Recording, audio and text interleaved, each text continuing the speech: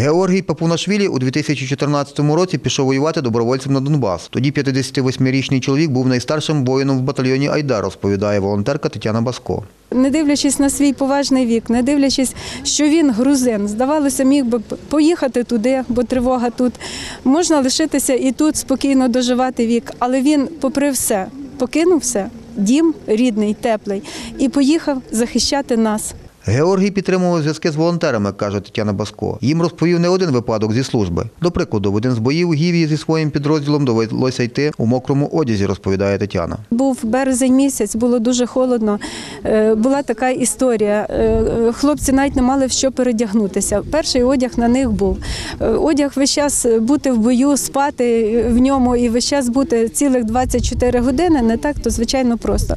І вони на кінець сонечко блиснуло. Вони вирішили, що попратися, е, санітарний день для себе швиденько зробити. І це все зробили на вітрі. І тут несподівано почався бій. Вони змушені були одягнути і піти у бій. Гівій усім був як батько, пригадує його побратим Сергій Каплунський. Він для всіх був як, як тато, а для кого як навіть його дідом називали. Для вас А чому як тато? Тому що він ну, всім розказував, всім об'ясняв. Якщо в когось щось не вийшло, прийшов, показав, ні, то насварив, сказав так, щоб зробив так. Всі його слухались. Пулеметчик від Бога був такий, що ну, таких просто немає. Ну і взагалі таких людей.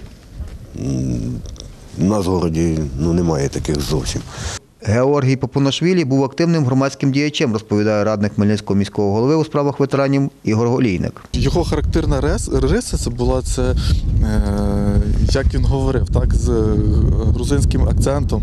Коли він познайомився, так, і кажу, мене звати Ігор, а? Мене звуть Георгій Георгійович. Ну, називай мене просто Гіві.